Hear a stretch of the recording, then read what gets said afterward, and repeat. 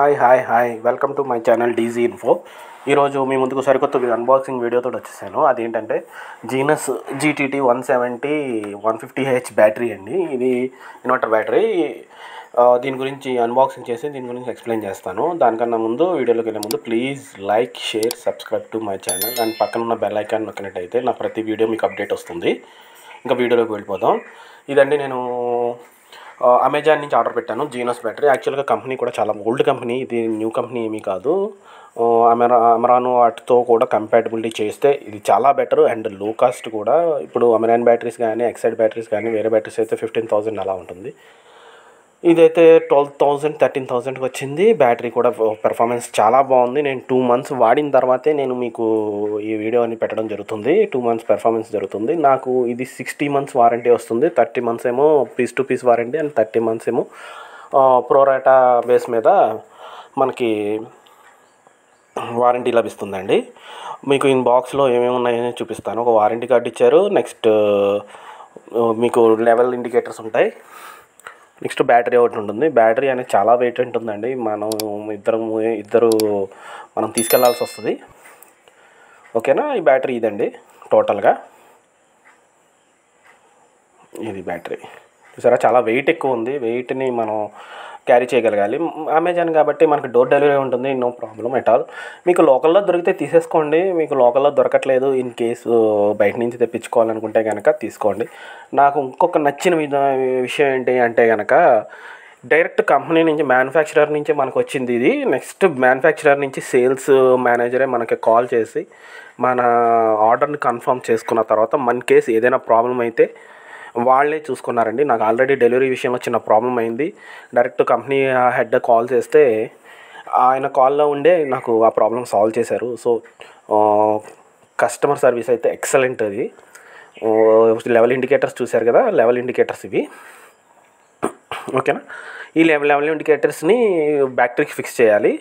బ్యాటరీకి fix చేసి దాన్ని బట్టి మనం బయటికి ఏం జరుగుతుంది ఇదంటే టోటల్గా. దాని bar code etcetera etcetera next manufacturing అవి ఉంటాయి. ఆ బ్యాటరీని ఎలా హ్యాండిల్ చేయకూడదు అనేది అంటే రివర్స్లో హ్యాండిల్ చేయకూడదు ఎక్కువ ఊపకూడదు బ్యాటరీని. ఊపినట్టయితే కనుక మనకి అందులో ఉన్న యాసిడ్ కదిలి బ్యాటరీ డిస్పోజ్ అయిపోవడానికి అవుతుంది. ఇదిగోండి ఇలా బ్యాటరీ నాబ్ తీసేసి నాబ్లో చూసారా? వాటర్ వాటర్ లెవెల్ ఇండికేటర్స్ ఉంటాయి. డిస్పోజల్ వాటర్స్ అవి. ఈ వాటర్ని మనం బయట తీసుకొని వేసుకుంటూ ఉండాలి. ఈ నాబ్ని లెవెల్ ఇండికేటర్ని అలా స్క్రూ చేసేసుకుంటే సరిపోతుంది. అంతే. ప్రతిదీ ఇంక మనం అలా ఇండికేటర్ చేసుకోవడం వల్ల ఏంటంటే ఏమవుతుందంటే ఈక్వల్ లెవెల్లో ఉండాలి. ఇప్పుడు ఈ వాటర్ లెవెల్స్ అయితే మనం ఖచ్చితంగా చూసుకోవాలండి. మినిమం వాటర్ లెవెల్ అనేది ఎప్పుడు రాకూడదు. మధ్యలోకి రాగానే ఇండికేటర్ మనం వాటర్ తీసుకొని వాటర్ తీసేసుకొని వేసేస్తే చాలా బెటర్ అండి. మీకు బ్యాటరీ లైఫ్ ఎక్కువ వస్తుంది. జనరల్గా నేను రీసెర్చ్ చేసింది ఏంటి అంటే కనుక బ్యాటరీ లైఫ్ అనేది వాళ్ళు సిక్స్ ఇయర్స్ వారంటీ ఇచ్చారంటే కనుక సిక్స్కి ఇంకొక త్రీ ఫోర్ ఇయర్స్ ఈజీగా వస్తుంది మనం బాగా మెయింటైన్ చేస్తే. అంతకు మించి లైఫ్ ఉండదండి. మనం బాగా మెయింటైన్ చేయకపోతే సిక్స్ ఇయర్స్ లోపలనే పోతుంది. సో బ్యాటరీ మెయింటెనెన్స్ అనేది చాలా ఇంపార్టెంట్ అండి. ఓకేనా? దీంతో జస్ట్ స్క్రూ అన్స్క్రూ చేసేసి దాన్ని ఇండికేట్ చేసేసుకోవడమే. చూసారు కదా? మీకు ఎటువంటి డౌట్స్ ఉన్నా లేదా కామెంట్ సెక్షన్లో కామెంట్ చేయండి. నేను తప్పకుండా రెస్పాండ్ అవుతాను. Please like share subscribe to my channel ఓకేనా ఇది ఇదిగోండి స్క్రూ ఫిక్స్ చేస్తాను ప్రతిదీ మనం ఫిక్స్ చేసుకుంటూ వెళ్ళిపోవాలి. ఇది మనకి ఇంకోటి ఏంటంటే మీకు ఇంకో ఇంపార్టెంట్ థింగ్ అయితే ఏంటంటే మీకు జస్ట్ నాలెడ్జ్ ఉంది ఎలక్ట్రీషియన్ తోటి అవసరం లేదు. ఆల్రెడీ వైరింగ్ ఇన్వర్టర్ వైరింగ్ చేసి ఉంటే కనుక మనమే ఫిక్స్ చేసేసుకోవచ్చు ఎలక్ట్రిషియన్ కూడా అవసరం ఉండదు. ఇన్ కేస్ మీకు అంత నాలెడ్జ్ లేదు అనుకుంటే కనుక బయట ఎలక్ట్రిషియన్ ఏమైనా పిలిపించుకుని ఇన్స్టాల్ చేసుకోవడమే. వాళ్ళు వచ్చి అయితే ఇన్స్టాల్ చేయరండి. ఇన్స్టలేషన్ లేదు. ఇన్స్టలేషన్ ఒకటే లేదు దీనికి బ్యాకప్ ఒకటి. మిగతా అన్ని వెళ్ళని గుడ్ అండి. నేను ఇంకొన్ని వాటర్ ఇండికేటర్స్ ఫిల్ ఫిల్ చేశాను. చూసారా? ఆల్రెడీ ఫుల్ ఉన్నాయి. వన్స్ ఇంకొక ఇంపార్టెంట్ థింగ్ ఏంటంటే వన్స్ వచ్చిన తర్వాత మీరు ఖచ్చితంగా ఒక one hour two one hour అలా వదిలేయండి. ఎందుకంటే ట్రావెల్లో ఉండడం వల్ల యాసిడ్ అది కదిలి బ్యాటరీ కొంచెం స్టేబుల్ అయ్యేంత వరకు ఉంచుకోవాలి. ఇది ఎక్సైడ్ ఇన్వర్టర్ అండి. నేను ఇది ఇది లోకల్ మార్కెట్లోనే తీసేసుకున్నాను. ఇది వన్ ఇయర్ వారంటీ వచ్చింది. ఎక్సైడ్ ఇన్వర్టర్ అయితే మా మంచి కంపెనీ కూడా అది కూడా మీకు తెలుసు ఆల్రెడీ. ఎక్సైడ్ గురించి మనకు ప్రత్యేకంగా చెప్పాల్సిన అవసరం లేదు. ఇది వన్ ఇయర్ వారంటీ వచ్చి నేను లోకల్ మార్కెట్లో తీసుకున్నాను ఎందుకంటే ఎక్సైడ్ ఇన్వర్టర్ బ్యాటరీస్ ఆన్లైన్లో కన్నా నాకు ఆఫ్లైన్లోనే తక్కువ దొరికింది అంతకుమించి ఏమీ లేదు. దీంతో పాటు కేబుల్స్ ఇస్తారు. వారంటీ కార్డ్ అవి కామన్గానే ఉంటాయి. ఓకేనా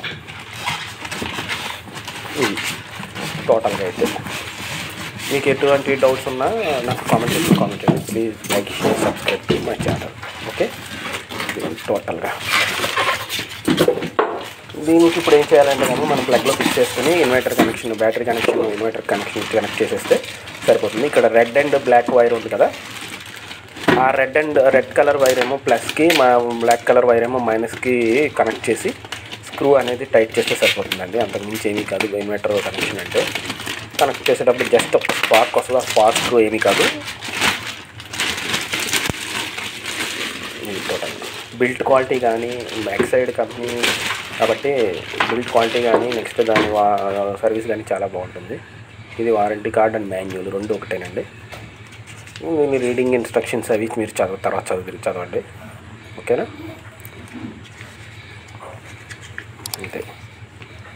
అది వారంటీ వారంటీ కార్డ్ అండి.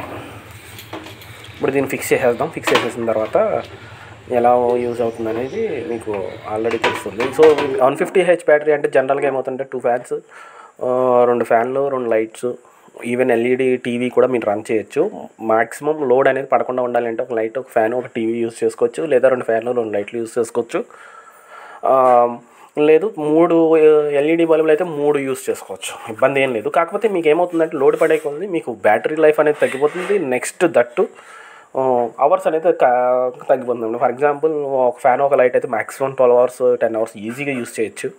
అది రెండు ఫ్యాన్లు రెండు లైట్లు అయితే కనుక మళ్ళీ దాంట్లో ఆఫ్ అంటే మ్యాక్సిమం సిక్స్ అవర్స్ వచ్చేస్తుంది. సో దాన్ని బట్టి మనం యూస్ చేసుకోవాలి ఓకే? ఇది ఇండికేటర్స్ కూడా ఉంటాయి. ఛార్జింగ్ అవుతుందా లేదా? నెక్స్ట్ లెవెల్ ఇండికేటర్స్ ఉంటుంది. నెక్స్ట్ ఛార్జింగ్ ఇండికేటర్స్ ఉంటాయి.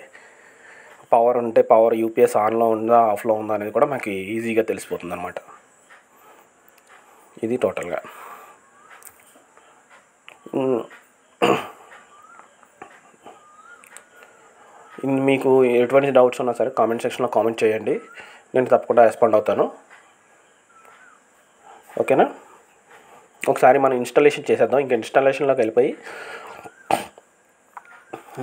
మీకు పెర్ఫార్మెన్స్ కూడా చూపిస్తాను. ఓకే? ఇన్స్టలేషన్ అనేది ఏం లేదండి. నాకు ఆల్రెడీ వైరింగ్ అయిపోయింది కాబట్టి నేను జస్ట్ అది black red wire plus connect చేస్తున్నాను. అండ్ స్క్రూ పెట్టేటప్పుడు మాత్రం లూజ్ కండక్షన్ కండక్ట్ లేకుండా చూసుకోవాలి. One in case loose conduct ఉంటే ఏమవుతుందంటే కనుక ఛార్జింగ్ అనేది డ్రాప్ అయిపోతూ ఉంటుంది బ్యాటరీది మోస్ట్ ఇంపార్టెంట్ థింగ్ ఏంటంటే మనం స్క్రూ చేసేటప్పుడు బ్లాక్ వైర్ కనెక్ట్ చేసినప్పుడు టైట్గా కనెక్ట్ చేయాలి. స్క్రూ స్క్రూ ఏమాత్రం లూజ్ ఉన్నా సరే ఏమవుతుందంటే బ్యాటరీ అనేది ఛార్జింగ్ అనేది డ్రాప్ అయిపోతుంది. Black red wire plus connect చేసాం కాబట్టి బ్లాక్ వైరు మైనస్ కనెక్ట్ చేస్తాం. అంతే. అంతే మైనస్ కనెక్ట్ చేసేసాం. ప్లగ్ తీసుకొచ్చి ఇన్వర్టర్ ప్లగ్ తీసుకొచ్చి ప్లగ్లో పెట్టి ప్లగ్కి వచ్చిన వైర్ని ఇన్వర్టర్ కనెక్ట్ చేస్తాం. అప్పటి నుంచి ఛార్జింగ్ అయిపోతుంది. అక్కడితో అయిపోతుంది. ఓకేనా ఈ వీడియో మీకు నచ్చినట్టయితే please like share subscribe to my channel DG Info మీకు ఎటువంటి డౌట్స్ ఉన్నా సరే నా కామెంట్ సెక్షన్లో కామెంట్ చేయండి. మీకు తప్పకుండా రెస్పాండ్ అవుతాను. Okay thank you